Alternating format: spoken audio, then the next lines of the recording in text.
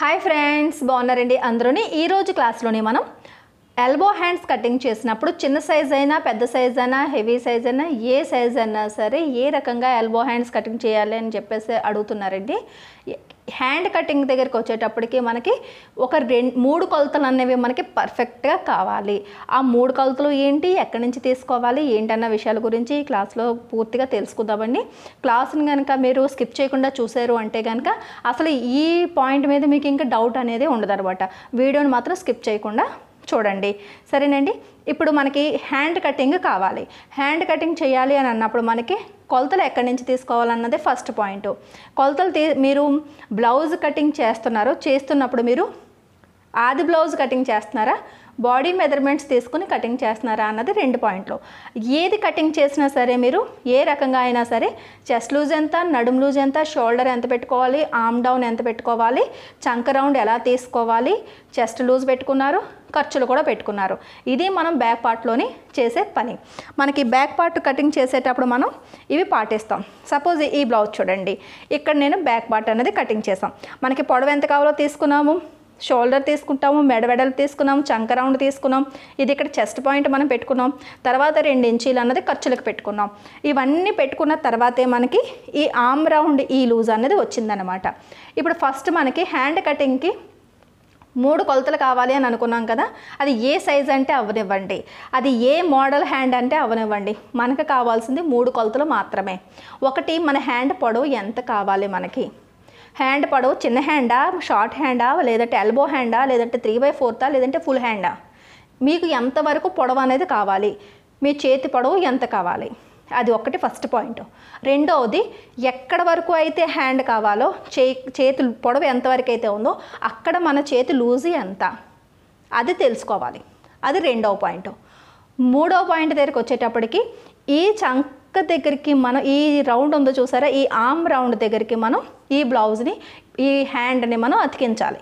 అతికించాలి అంటే పర్ఫెక్ట్గా ఎక్కడ కొలత తీసుకోవాలి? అది మూడో కొలత. సరేనండి? ఈ మూడు కొలతలు ఖచ్చితంగా మనకి హ్యాండ్ కటింగ్లోని ఉండవలసిందే. అయితే చాలామంది అడుగుతున్నారు నా బ్లౌజు ఎంత సైజ్ అండి? ఆమ్ రౌండ్ ఎంత సైజు ఎలా బ్లౌజ్ కటింగ్ చేసుకోవాలో చూపించండి అని. ఆమ్ రౌండ్ సైజు మీరు ఎలా డిసైడ్ చేస్తారండి? అలా చే- అంటే నాకు ఎలా డిసైడ్ చేశారంటే నాకు తెలిసినంత వరకు మీరు ఇక్కడ భుజం దగ్గర నుంచి ఇలాగా చంక రౌండ్ని కొలుచుకున్నారు. ఇలా చంక రౌండ్ని కొలుచుకుని ఇక్కడ తొమ్మిదిన్నర వచ్చింది నాకు. అప్పుడు ఏం చేస్తారంటే ఇక్కడి నుంచి ఇలాగా ఇలా కొలుచుకొని ఈ తొమ్మిదిన్నర ఇక్కడికి రావాలి అని చెప్పేసి మీరు అనుకుంటారు. ఓకే. మరి ఇక్కడ మనం రెండు ఇంచుల ఖర్చులు తీసుకున్నాం కదా మరి ఆ రెండు ఇంచుల ఖర్చులు కూడా కావాలి. హ్యా అంటే దాన్ని బట్టి మీరు ఎంత మనం హ్యాండ్ని ఫోల్డింగ్ చేయాలన్నది అంచనా కట్టలేం. కాబట్టి మీరు ఆది బ్లౌజ్లోంచి మీరు బ్లౌజ్ కటింగ్ చేస్తున్నా బాడీ మెజర్మెంట్స్తో బ్లౌజ్ కటింగ్ చేస్తున్నా మనం బ్యాక్ పార్ట్ అన్నది కటింగ్ చేసేసాం. చేసేసిన తర్వాత ఒక్క చిన్నది చిన్న ఒక పాయింట్ అండి మనం ఎంత హ్యాండ్ కటింగ్ చేసినా మనం జాయింట్ చేయవలసింది మన ఆది బ్లౌజ్కి అయినా కాదు మనం ఇక్కడ జాయింట్ చేయాలి. మనం ఈ ఆమ్ రౌండ్కే జాయింట్ అనేది చేయాలి అలాంటప్పుడు మీరు ఎక్కడా కూడా ఈ ఫోల్డింగ్ ఎంత తీసుకోవాలి అన్న ఈ ఒక్క విషయం మాత్రం ఈ బ్యాక్ పార్ట్ని పెట్టే మీరు తీసుకోండి. ఏ బ్లౌజ్ అయితే కటింగ్ చేస్తున్నారో ఈ హ్యాండ్ని ఈ దేనికైతే మీరు జాయింట్ చేయాలనుకుంటున్నారో ఆ ఆమ్ రౌండ్ని మాత్రమే కొలుచుకోండి. ఇది ఒక్కటే పర్ఫెక్ట్ పద్ధతి అండి ఇది ఇది నేను ఛానల్ పెట్టినప్పటి నుంచి కూడా ఈ రోజు కదండి నేను ఛానల్ పెట్టినప్పటి నుంచి కూడా ఫస్ట్ బ్లౌజ్ నుంచి కూడా నేను ఇదే చూపిస్తున్నాను. కొత్తగా పెట్టిన యూట్యూబర్స్ కూడా ఇదే పద్ధతిని మన మన ఛానల్ చూసి ఫాలో అవుతున్నారు. చాలా సంతోషం నాకు. అంటే అక్కడే మీకు తెలిసిపోతుంది నా పద్ధతి ఎంత కరెక్ట్ అన్నది. సరేనండి? అంటే మన పద్ధతి పర్ఫెక్ట్ అయితేనే వేరే వాళ్ళు కూడా ఇష్టపడతారు. వాళ్ళు కూడా ఇష్టపడ్డారు మన పద్ధతిని అంటే మనది ఎంత పర్ఫెక్ట్ అని అర్థం. సరేనండి? ఎందుకు అంటే కనుక మనం హ్యాండ్ జాయిన్ చేయాల్సింది ఇక్కడే. ఇందులో ఇంక ఎటువంటి తేడా లేదు. మరి ఇది ఎలా చేయాలి అంటే కనుక ఇది చాలా మెయిన్ పాయింట్ అనమాట ఇప్పుడు ఆమ్ రౌండ్ని ఇంచీ టేప్తోని కొలుచుకోండి. ఇలా అంచుని ఇలా పెట్టుకోండి. ఇలా ఈ అంచు ఈ అంచు కలవాలి. ఇది మాత్రం దృష్టిలో పెట్టుకోండి. ఇంచీ టేప్ ఇలా వెళ్ళిపోతూ ఉంటుంది. అది మీరు పట్టించుకోవద్దు. ఈ అంచు ఈ అంచు ఇలా మనం కలుపుతున్నామా లేదా అన్నది మాత్రమే దృష్టిలోని పెట్టుకోండి. ఈ చివరి వరకు నాకు పదిన్నర ఇంచీలు అన్నది వచ్చింది. ఇప్పుడు ఇక్కడి నుంచి ఒక ఇంచు తగ్గించమని ఎప్పుడూ చెప్తూ ఉంటాను. ఎందుకు అంటే కనుక ఇక్కడ అరేంజ్ అన్నది మనకి షోల్డర్ స్టిచ్చింగ్లోకి వెళ్ళిపోద్ది. మరి అలా చూసుకున్న అరేంజ్ మనకి ఎక్కువ ఉంది కదండి అంటారు.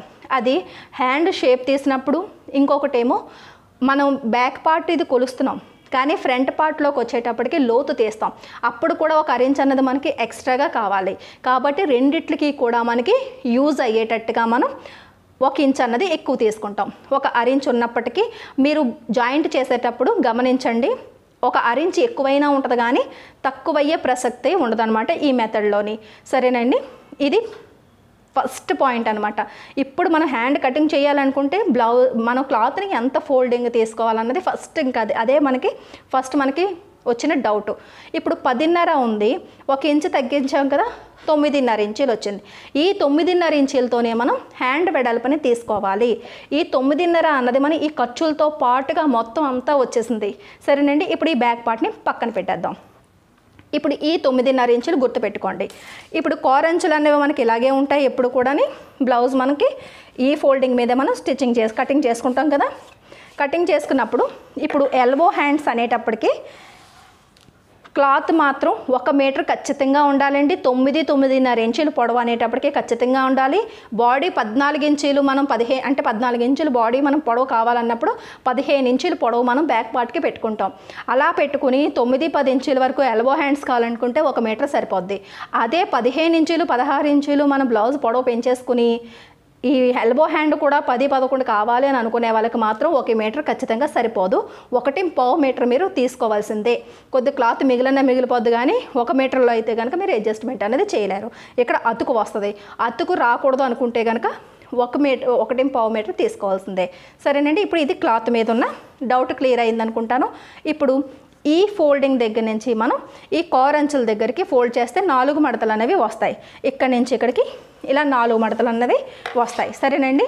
ఈ నాలుగు మడతల్లోంచి ఇప్పుడు మనం ఈ ఫోల్డింగ్ నుంచి ఇక్కడికి తొమ్మిదిన్నర ఇంచీలు ఉందా లేదా అన్నది చెక్ చేసుకోవాలి. ఇక్కడి నుంచి ఇలాగా తొమ్మిదిన్నర ఇంచులు ఉందా లేదా? ఒక ఇంచు తేడా వచ్చింది.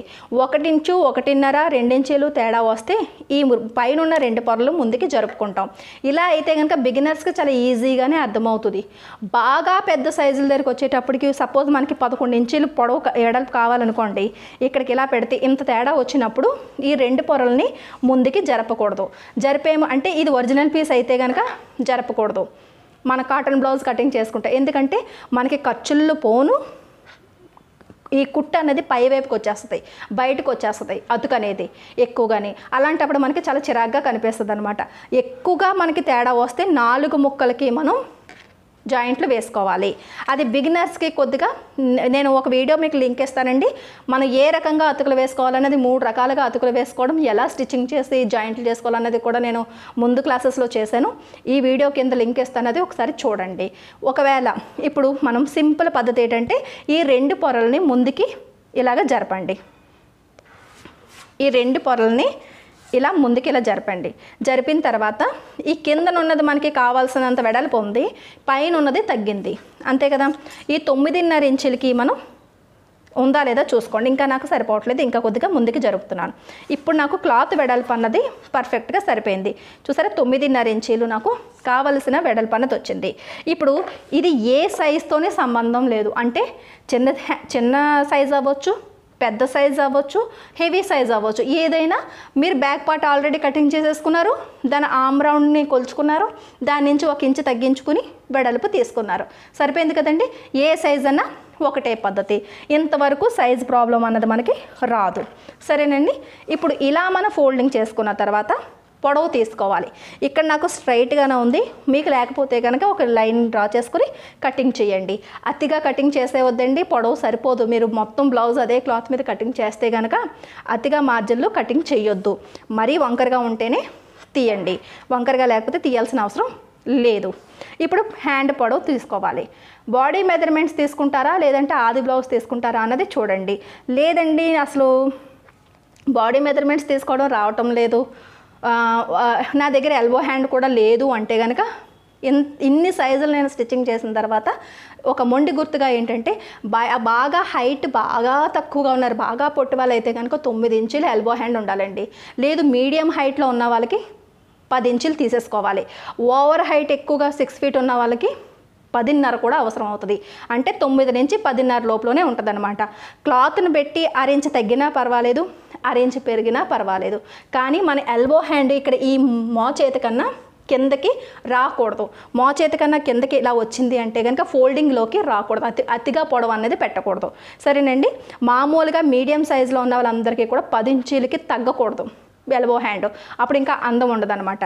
మీరు ఒక్కటి గుర్తుపెట్టుకోండి. పొడవు దగ్గరికి వచ్చేటప్పటికి మీరు అనుకున్న పొడవు కన్నా అంటే ఇంచీ టేప్తో బాడీ మీద మీరు కొలుచుకునే పొడవు కన్నా కొద్ది పైకే వెళ్తుంది. స్టిచ్చింగ్ అయిన తర్వాత ఒక అరించ్ అన్న పైకే వెళ్తుంది. కాబట్టి అది కళ్ళతో మీరు కనిపెట్టాలి. మనం తొమ్మిది అనుకున్నాం. లేదు తొమ్మిదిన్నరకే కటింగ్ చేయాలి. అప్పుడే తొమ్మిది అన్న దగ్గరికి వస్తుంది. అన్న విషయాన్ని మీరు గుర్తుపెట్టుకోవాలి. సరేనండి? ఇవన్నీ కూడా ఎక్స్పీరియన్స్లోని వస్తాయి. ఇప్పుడు పొడవు ఎలా చూసుకోవాలంటే మీకు ఈజీగా ఉంటుంది కాబట్టి ఆది బ్లౌజ్ నుంచి చూద్దాం. ఒకవేళ మీ దగ్గర ఎల్బో హ్యాండ్ పొడవు ఉందనుకోండి చూడండి. ఈ చేతిది ఇక్కడ భుజం కుట్టు దగ్గర నుంచి చివరి వరకు ఎంత పొడవు ఉన్నది అనేది చూసుకోండి. ఇక్కడ ఈ భుజం కుట్టు దగ్గర నుంచి మీరు ఇలా చూసుకుంటే కనుక పది ఇంచీలు ఇంచుమించు పది ఇంచీలు పొడవు అన్నది వచ్చింది. ఈ పది ఇంచీలు పొడవుకి ఎంత వస్తే అంత. సైజుతో సంబంధం లేదు కదా. మనకి చిన్న సైజు అవ్వచ్చు పెద్ద సైజు అవ్వచ్చు ఏ సైజు అన్నా భుజం దగ్గర నుంచి చివరి వరకు ఎంత పొడవు వస్తే దానికి ఒక ఇంచు కలుపుకొని పొడవు తీసుకుంటారు. అంటే పదికి ఒక ఇంచు తీసు కలిపితే పదకొండు ఇంచీలు. పదకొండు కింద నుంచి పై వైపుకి మార్కింగ్ చేసుకోండి. ఇక్కడి నుంచి ఇలా ఈ చివరి నుంచి ఫస్ట్ ఇలా పట్టుకొని పదకొండు ఇంచుల దగ్గరికి ఇలా మార్కింగ్ పెట్టాం. దాని తర్వాత ఇక్కడి నుంచి ఇక్కడికి పదకొండు ఇంచుల దగ్గరికి మార్కింగ్ పెట్టాం. అంటే ఇది ఇక్కడ ఇక్కడ ఎందుకు పెట్టామంటే లైన్ అన్నది స్ట్రైట్గా రావడం కోసం. ఇలా స్కేల్ని యూజ్ చేసుకుని ఇక్కడ ఇలా పట్టుకుని లైన్ అన్నది గీసేసుకోండి. సరేనండి? ఇప్పుడు మనకి ఇంతవరకు అయితే మనకి వచ్చేసింది. ఇప్పుడు మనకి ఈ మూడో కొలత ఏంటంటే చేతి లూజు. చేతి లూజ్ దగ్గరికి వచ్చేటప్పటికి ఫోల్డింగ్ దగ్గర నుంచి లూజ్ ఎంత అన్నది పెట్టుకోవాలి. మామూలుగా హ్యాండ్ అయితే కనుక ఎక్కడి వరకు హ్యాండ్ పొడవ పెట్టుకోవాలనుకుంటున్నారో అక్కడ ఇలా లూజ్గా ఈ మాత్రం లూజ్గా బాడీ మెజర్మెంట్స్ అన్నది తీసుకుంటేనే ఇలా తిరగాలి. ఎక్కడంటే అవనియండి అది ఎల్బో హ్యాండ్ దగ్గర అవ్వచ్చు పై హ్యాండ్ దగ్గర అవ్వచ్చు చే కింద అవ్వచ్చు ఇలా తిరగాలి. ఇలా తిరిగి ఇంత లూజ్ తీసుకుంటేనే మీరు బ్లౌజ్ వేసుకున్న తర్వాత మీకు సెట్ అవుతుంది. సరేనండి? ఇప్పుడు మామూలుగా ఆది బ్లౌజ్ నుంచి అయితే కనుక ఈ ఫోల్డింగ్ దగ్గర నుంచి ఈ కుట్టు దగ్గరికి ఎంత ఉందన్నది చూసుకోవాలి. ఇలా ఇక్కడి నుంచి ఇలా చూసుకుంటే కనుక పావు తక్కువ ఆరు ఇంచీలు ఉంది. అంటే ఆరు ఇంచీలను కూడా పెట్టుకోవచ్చు. ఎప్పుడు బిగినర్స్ ఒక పావు ఇంచు ఎక్కువ లూజ్ అన్న పెట్టుకోవచ్చు కానీ టైట్ చేయొద్దు. మనకి క్లాత్ ఉంటే కుట్లన్నా వేసుకోవచ్చండి. సరేనండి? సరే పావు తక్కువ ఆరు ఉంది కాబట్టి పావు తక్కువ ఆరే మార్కింగ్ పెడదాం. ఎగ్జాక్ట్గా కావాలి అని అనుకున్నప్పుడు పావు తక్కువ ఆరు ఇంచీలకి ఇలాగా మార్కింగ్ చేసేద్దాం.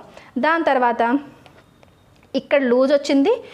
ముందు మనం క్లాత్ వెడల్పు పెట్టుకున్నాం పొడవు పెట్టుకున్నాం లూజ్ మార్కింగ్ పెట్టుకున్నాం. ఇప్పుడు బ్లౌజ్ కటింగ్ చేసేటప్పుడు మీరు ఇక్కడ ఈ లూజ్ అన్నది ఎంత పెట్టారు? రెండు ఇంచీలు పెట్టారా? ఒకటిన్నర ఇంచీలు పెట్టారా? ఏంటనేది మీరు తెలుసుకోవాలి. ఇక్కడ రెండు ఇంచీలు నేను బ్లౌజ్ చెస్ట్ మార్కింగ్ ఇక్కడికి వచ్చింది. ఇవంతా కూడా ఎక్స్ట్రాగా మనం రెండు ఇంచీల దగ్గరికి మార్కింగ్ పెట్టుకున్నాం. ఈ రెండు ఇంచీలు అన్నది ఇక్కడ ఖర్చులకి ఇక్కడ కూడా ఉండాలి. అప్పుడే చేతి దగ్గర నుంచి నడుం వరకు కూడా మనకి కుట్టు అనేది లెవెల్గా వస్తుంది. అలాంటప్పుడు ఇక్కడ మనం రెండు ఇంచీలు అన్నది ఖర్చులకి పెట్టుకుంటాం. ఇది దేని మీద డిపెండ్ అయి ఉంటుంది? మీరు బ్యాక్ పార్ట్ కటింగ్ చేసినప్పుడు ఖర్చులకు ఎంత పెట్టారు అన్నది దాని మీద డిపెండ్ అయి ఉంటుంది. సరేనండి? ఇప్పుడు ఇంతవరకు వచ్చింది. ఇప్పుడు మన మనకు మనంగా పెట్టాల్సిన మార్కింగ్ అనేది ఇంకొకటి ఉంది. చంకదింపు. చంకదింపు ఎంత పెట్టాలి? చంకదింపు ఎంత పెట్టాలి అన్న విషయానికి వస్తే కనుక చిన్న సైజు పెద్ద సైజు. చిన్న సైజు అంటే కనుక ఒక ముప్పై రెండు సైజు వరకు బాగా సన్నంగా ఉన్న వాళ్ళకి మాత్రం పైనుంచి కిందకి మూడు ఇంచీల దగ్గరికి మార్కింగ్ చేయండి. మూడు ఇంచుల దగ్గరికి మార్కింగ్ చేయండి. మిగతా వాళ్ళందరికీ కూడా అది ఏ సైజ్ అంటే అవనివ్వండి. మూడున్నరకి మార్కింగ్ పెట్టుకోండి. మూడున్నరకి మార్కింగ్ పెట్టుకోండి. నేను మూడున్నర ఇంచీలకి నేను మార్కింగ్ పెడుతున్నాను. చిన్న సైజు వాళ్ళు కూడా ఒకవేళ మూడున్నర అయితే కనుక కొద్దిగా లూజ్ అవుతుంది అన్న డౌట్ అనమాట చిన్న సైజు వాళ్ళు అయితే ఇలా మూడుకి పెట్టండి. పెద్ద సైజు వాళ్ళు అయితే మూడున్నరకి పెట్టండి. ఈ మూడున్నరకి పెట్టిన తర్వాత ఇక్కడ ఇది ఒక్కటే తేడా వస్తుంది. చిన్న సైజుకి మిగతా సైజులకి. మిగతా వాళ్ళు ఏ విషయంలోని ఇంకే తేడా రాదు. దాని తర్వాత ఈ ఖర్చులు అన్నది బ్యాక్ పార్ట్లో ఈ ఖర్చు అన్నది రెండు ఇంచీలు అన్నది ఇక్కడి నుంచి ఇక్కడికి మన వైపుకి ఇలాగ స్ట్రైట్గా మార్కింగ్ అన్నది చేసుకోవాలి. ఇక్కడి నుంచి ఇక్కడికి రెండు ఇంచీల దగ్గరికి ఇలా లైన్ గీసుకుని ఈ రెండు దగ్గర అడ్డుగా ఒక గీత కూడా ఇలా గీయండి. ఇది రెండు ఇంచులు ఖర్చులు అనమాట సరేనండి ఖర్చులు అనేటప్పటికి స్ట్రైట్గానే ఉండాలి. మనం ఎంత విప్పుకున్నా సరే అక్కడ షేప్ అన్నది మనకి తేడా రాకూడదు. సరేనండి? దాని తర్వాత మనం ఇక్కడికి షేప్ ఇచ్చుకోవాలి. ఇలా షేప్ ఇచ్చుకోవాలి అంటే కనుక ఇక్కడ మనకి రౌండ్ తిప్పుకోవాలి. ఎక్కడి నుంచి రౌండ్ తీయాలి అంటే కనుక ముప్పై రెండు సైజు కన్నా కింద వాళ్ళు ఒకటిన్నర ఇంచుకి తీస్తారు. కొంతమందికి ముప్పై ఆరు ముప్పై నాలుగు సైజు వాళ్ళు కూడా ఒకటిన్నరే తీస్తాం. ముప్పై ఆరు నుంచి కూడా ఇంచులకి తీసుకున్నా సరే పర్ఫెక్ట్గా వస్తుంది. సరేనండి? రెండు ఇంచులకి ఇలాగ మార్కింగ్ అన్నది చేసుకుంటాం.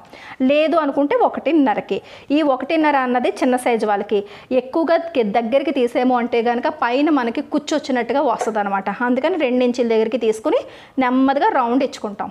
ఇప్పుడు ఈ రెండించుల దగ్గరికి తీసుకున్న ఈ మార్కింగ్ దగ్గర నుంచి మనం ఇక్కడికి ఇలాగ కలపాలి. ఇప్పుడు ఇలా కలపాలి అంటే కనుక ఇక్కడి నుంచి ఇలా నెమ్మదిగా ఇలా డౌన్ అయ్యి ఇక్కడికి జాయింట్ చేయడమే. అంతే. ఇంకా షేప్ ఏమి? మనకి లైన్లు గీసుకోవడాలు పైనుంచి కిందకి. అలా అయితే కనుక మీకు షేప్ అన్నది ఎప్పటికీ రాదు. మనం ఈజీగా ఫ్రీ హ్యాండ్తో ఇక్కడి నుంచి మన చూపు అంతా అక్కడికి ఉండాలి. ఇలా ఇక్కడి నుంచి ఇక్కడికి కలవాలి. అంతే. ఇంకేం రౌండ్లు గట్ట తీయాల్సిన అవసరం లేదు. ఇక్కడి నుంచి ఇలా డైరెక్ట్గా ఇలా తీస్తున్నామా లేదా? అంతే. సరేనండి? ఇలా వచ్చేసింది కదా? వచ్చిన తర్వాత ఇది ఇది ఇలా ఇందులోకి ఇలా కలిసి కటింగ్ ఇలా చేస్తాం. మనకి ఈ హ్యాండ్ షేప్ కూడా వచ్చేసింది కదా? ఇప్పుడు మనం లూజులు కట్ అన్నీ పెట్టేసుకున్నాం. ఇది మన ఫిట్టింగ్ లైన్ అన్నమాట. ఈ ఫిట్టింగ్ లైన్ ఫస్ట్ మనం కలిపేద్దాం. ఇక్కడి నుంచి ఇక్కడికి ఫిట్టింగ్ లైన్ ఇక్కడి నుంచి ఇలా స్కేల్ పెట్టుకుని ఫిట్టింగ్ లైన్ని కలిపేయండి. ఇలా. ఫిట్టింగ్ లైన్ని ఇలా కలిపేయండి. అంతే తప్ప కర్వ్ తీయడం అన్నది అస్సలు చేయొద్దు ఇలా కొంతమంది ఏం చేస్తారంటే ఇలా ఇలా ఇలా ఇలా ఇలా షేప్ తీస్తారు. మన హ్యాండ్ ఇంత వంకర ఉంటుందా అండి? అస్సలు ఉండదు. మన హ్యాండ్ ఇంత వంకర ఉంటుందా? మీరు ఒక్కసారి మన చేతిని మనం చూసుకుందాం. ఇక్కడ నుంచి ఇలా స్ట్రైట్గా ఇలా వెళ్ళిపోద్ది తప్ప ఇ- మన మనదేమైనా స్కిన్ ఇలా లోపలికి వెళ్తుందండి ఇలా ఇలా స్కిన్ లోపలికి వెళ్ళదు కదా? మనకి ఇది అస్సలు సెట్ కాదు. మన ఛానల్లోని చాలా చాలా ఎల్బో హ్యాండ్స్ ఉంటాయండి. ప్రతి బ్లౌజ్కి కూడా నేను ఎల్బో హ్యాండ్ స్టిచ్చింగ్ చేస్తాను. ఎందుకంటే ఇప్పుడు అది ట్రెండీలో ఉంది. ఎవరు కట్టి స్టిచ్చింగ్ చేయించుకున్న పెద్ద బార్డర్ వచ్చే బ్లౌజ్ ఏదైనా సరే అన్నీ కూడా నేను ఛానల్లో పెట్టినవన్నీ ఏదో టైం పాస్కి ఇదేదో ప్లెయిన్ క్లాత్ తీసేసాను కటింగ్ చేసేసాను అన్నవి కాదండి. ప్రతిదీ కూడా బ్లౌజ్ కటింగ్ అంతా కూడా కస్టమర్స్వి అది కూడా సారీలో వచ్చిన బ్లౌజ్ పీస్ కటింగ్ చేశాను. మీకు నేను ఇలా స్ట్రైట్గానే చూపించాను. అదే రకంగా స్టిచ్చింగ్ చేశాను. అదే రకంగా నేను కస్టమర్స్ కూడా ఇచ్చాను. సరేనండి? ఎప్పుడైతే కరువు తీసారో ఇక్కడ టైట్ పట్టేస్తుంది. అది చిన్న థింకింగ్ చిన్న పిల్లలకు కూడా అర్థమవుతుంది ఆ విషయం. ఎప్పుడైతే ఇలా వచ్చిందో ఇక్కడ బాగా టైట్ పెట్టేసి ముడతలు వచ్చేసి మన చేతి కిందకు దించేటప్పటికి భుజం లాగేసి మనకి షోల్డర్ కూడా జారిపోద్ది. ఇలా కర్వ్ ఎప్పుడు తీస్తారు అంటే కనుక మగవారికి జెంట్స్కి షర్ట్ స్టిచ్చింగ్ చేసేటప్పుడు కరువు తీస్తారు. ఎందుకు అంటే వాళ్ళది చాలా లూజ్గా మనం వాళ్ళ హ్యాండ్ అనేది బాడీ ఫిట్టింగ్ వేసుకోరు కదా చాలా లూజ్గా ఉంటుంది. అప్పుడు ఇలా షేప్ తీస్తే చూడడానికి అందంగా ఉంటుందని చెప్పేసి ఈ షేప్ అన్నది తీస్తారు. అంతే తప్ప లేడీస్కి ఇది పనిచేయదు ఇది ఎల్బో హ్యాండ్ అన్నా పనిచేయదు మన ఫుల్ హ్యాండ్ అన్నా సరే ఈ కరువు తీయొద్దు. తీసారు అంటే మీ బ్లౌజ్ సెట్ కాదు. సరేనండి? మళ్ళీ ఇక్కడ నుంచి ఇక్కడికి కూడా సేమ్ ఇదే రకంగా స్ట్రైట్గా తీసుకోండి. నన్ను ఒకరు అడిగారండి మనం షేప్ తీసినప్పుడు ఎల్బో హ్యాండ్స్కి కరువు తీయాలా? మనం ఇలా కరువు తీయాలా అని చెప్పేసి అడిగారు. ఇన్స్టాలో కూడా నాకు వీడియో పోస్ట్ చేశారండి. ఇలా అంటే మనకి ఫోటోని పోస్ట్ చేశారు. ఇలా నేను తీస్తే కరెక్ట్గా వస్తుందా అండి ఇలా అయితే రాదండి. ఇలా అయితే టైట్ అయిపోద్ది. ఒకసారి ఆలోచించండి. మీ హ్యాండ్ ఏమైనా ఇక్కడికి వచ్చేటప్పుడు స్కిన్ ఏమైనా లోపలికి వెళ్ళిపోయిందా? లేదు కదా. మరి ఎందుకు మనం ఈ కరువు తీయాలి?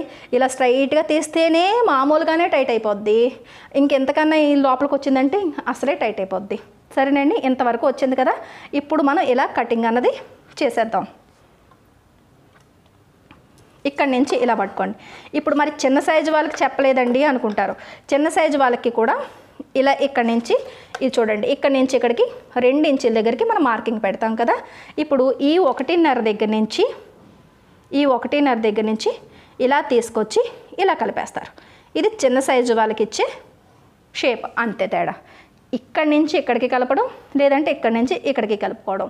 అంతే తేడా. ఇంకేమీ లేదండి. సరేనండి? ఏ సైజు వాళ్ళకన్నా ఇంకా అదే తేడా. ఇది ఇక్కడి నుంచి ఇలాగ ఇది వస్తుంది ఇక్కడి నుంచి ఇది ఇలా వస్తుంది. అంతే తేడా. ఇప్పుడు ఇక్కడి నుంచి ఇలా కటింగ్ అనేది చేసేద్దాం.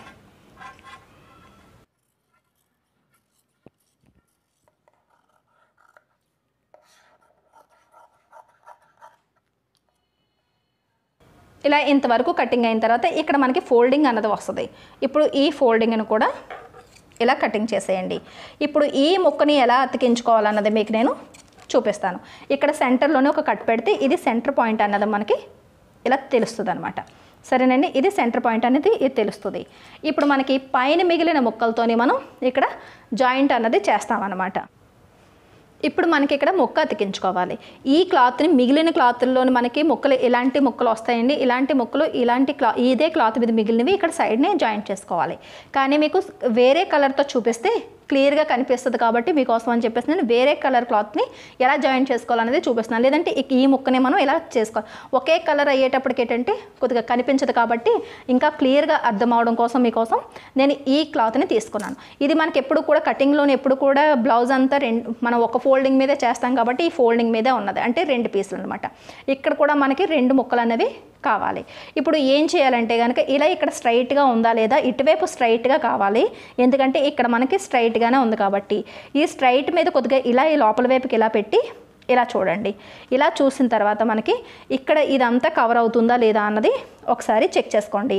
అలా అయితేనే మనకి ఈ క్లాత్ అనేది మనకి సరిపోయిందని అర్థం అనమాట లేదనుకుంటే అంటే ఒక కనీసం ఒక అరించి ఒక ఇంచ్ పైకి ఇలా తీసుకొచ్చి ఇలా అంచనాగా చూసుకుంటే ఈ క్లాత్ మనకి సరిపోతుందా లేదా అన్నది తెలుస్తుంది. సరిపోయినట్టు అయితేనే మనం ఈ ముక్కని తీసుకోవాలి. సరేనండి? దాని తర్వాత అతికించడం కోసం ఏ ఏదైనా సరే ఒక పాదం ఖర్చు వెడల్పుని రెండు పీసులని కలిపి ఇలా అతికిస్తున్నప్పుడు పావు ఇంచు ఖర్చు అయినప్పుడు ఇటువైపు పావు అటువైపు క్లాత్ పావు కలిపి అరించి అన్నది మీకు ఏ క్లాత్ జాయింట్ చేసినప్పుడన్నా అరెంజ్ మార్జిన్ అన్నది పోద్ది. ఈ అరెంజ్ మార్జిన్ అన్నది ఇక్కడ తీసేసుకోవాలన్నమాట.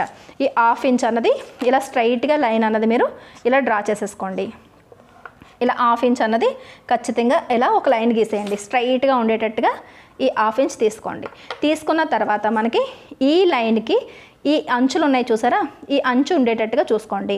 అంటే ఇక్కడికి ఇలా పెట్టినప్పుడు ఈ అంచుల దగ్గరికి కరెక్ట్గా ఇది చూసారా? అంచు అంచు దగ్గరికి ఈ లైన్ వచ్చేటట్టు ఇలా పెట్టండి.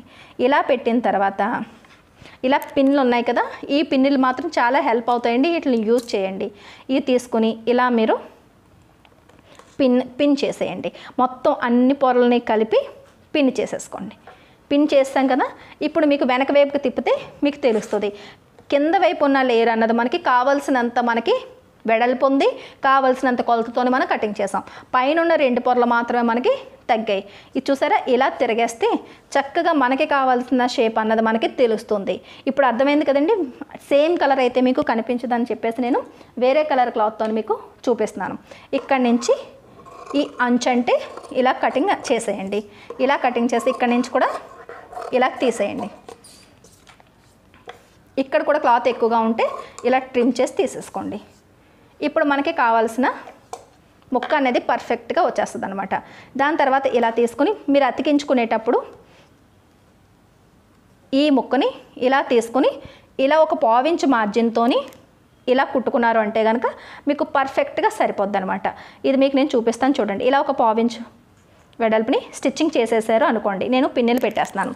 సరేనండి? ఇలా ఒక పావించ్ మార్జిన్తో ఇలా స్టిచ్చింగ్ అన్నది చేసేయాలి. సపోజ్ ఇక్కడ మీరు కుట్టు వేసేసారు అనుకోండి.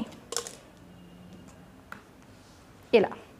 మనకి ఈ రకంగా కరెక్ట్గా సరిపోద్ది అనమాట ఈ అంచుకి కింద అంచుకి కరెక్ట్గా మనకి సరిపోద్ది. ఇది చూసారు కదా ఇలా ఈ కింద అంచుకి ఇలా సరిపోద్ది అనమాట ఇలా కుట్టు వేసేసి మనం టాప్ టాప్ స్టిచ్ కూడా వేసేస్తే సరిపోద్ది. ఇప్పుడు మనకి ఇలా తీసుకున్న తర్వాత లోతు అనేది తీసుకోవాలి. ఇక్కడ లోతు తీసుకునేటప్పుడు చేసి మనకి ఈ పిన్నెలు తీసేస్తున్నానండి మీకు అర్థం అవడం కోసం పెట్టాను నేను. లోతు తీసుకునేటప్పటికి ఏంటంటే ఈ ముక్కలు అతికించుకున్న తర్వాత ఒక వైపుని ఇప్పుడు ఇది సపోజ్ ఇలా ఉంది కదా ఇటువైపు మనకి ఫుల్ లెంత్ ఉంది కాబట్టి చూపిస్తాను చూడండి. ఇది సెంటర్ పాయింట్ ఇక్కడి నుంచి ఈ లోతు ఎప్పుడు కూడా ఈ ముక్కలను అతికించుకోండి. ఈ ముక్కలను అతికించుకున్న తర్వాత మనం ఈ కిందనున్న హెమ్మింగ్ బెల్ట్ వేసుకున్న తర్వాత ఈ లోపల వైపు రెండు కూడా రైట్ సైడ్ అన్నది ఉండాలి. రైట్ సైడు రెండు కూడా లోపల వైపుకి రావాలి. ఇలా పెట్టుకుంటే ఈ పైన ఉన్నది రాంగ్ సైడు కిందన ఉన్నది రాంగ్ సైడ్ ఉంటుందన్నమాట. అలా పెట్టుకున్న తర్వాతే మీరు అయితే ఇటు లేదంటే ఇటు మీరు లోతు అనేది తీసుకోవాలి. ఈ లోతు తీసుకునేటప్పుడు సెంటర్ నుంచి కరెక్ట్గా రెండు ఇంచీలు వదిలేయండి. ఇక్కడి నుంచి ఇక్కడికి రెండు ఇంచీలు వదిలేయండి. ఇది ఖర్చులది. వదిలేసిన తర్వాత ఈ రెండిట్లోనే మీకు ఇలా అంచనాగా ఖచ్చితంగా సెంటర్ పాయింట్ అని ఏమీ లేదండి. కా కాకపోతే ఇలా మనం ఈ మార్కింగ్ దగ్గర నుంచి ఈ మార్కింగ్కి ఇలా చూసుకుంటే ఇంచుమించులు ఆరు ఇంచీలు వచ్చింది కదా ఈ మూడు ఇంచీల దగ్గరికి ఇలా గీత గీయండి. అంటే మనకి ఈ రెండిట్లకి సెంటర్ పాయింట్ అన్నది తీసుకుంటే అంచనాగా సరిపోద్ది. లేదు అనుకుంటే ఇక్కడ నుంచి ఇలా ఇలా కూడా తీసేసుకోవచ్చు. ప్రత్యేకించి మార్క్ అవసరం అని లేదు. కానీ బిగినర్స్కి అర్థం కాదు కాబట్టి ఖచ్చితంగా మార్కింగ్ పెట్టుకుంటే పర్ఫెక్ట్గా వస్తుంది. ఇప్పుడు అరేంజ్ అన్నది ఖచ్చితంగా అరెంజ్ మాత్రమే. ఏ సైజ్ అన్నా సరే అది చిన్న సైజ్ అవ్వచ్చు పెద్ద సైజ్ అవ్వచ్చు ఏదైనా సరే ఈ అంచు దగ్గర నుంచి హాఫ్ ఇంచ్కి ఇలా మార్కింగ్ చేయండి. చేసిన తర్వాత ఇక్కడ నుంచి ఇక్కడ రౌండ్ తిరగాలి. ఈ సడన్గా ఇలా వీ షేప్ కింద రాకూడదు. ఇక్కడ నుంచి రౌండ్ తిరుగుతూ ఇక్కడ కలపండి. తర్వాత ఇక్కడ నుంచి ఇలా ఇలా తీసుకురండి. తీసుకొస్తే ఆటోమేటిక్గా ఒక ఎస్ మోడల్లోకి మనకి ఈ డిజైన్ అన్నది వచ్చేస్తాయి. చూసారా? ఇలా. ఇలా. ఇప్పుడు ఇది కటింగ్ చేసేసారు అంటే కనుక మీకు లోత్ అనేది పర్ఫెక్ట్గా వచ్చేస్తుంది. ఇక్కడ నుంచి ఇది కటింగ్ చేసేటప్పుడు ఇలా రౌండ్ తీసుకురండి. తీసుకొచ్చి ఈ మొక్కని ఇలా కటింగ్ చేసి ఇలా లోత్ అనేది తీసేసుకోండి.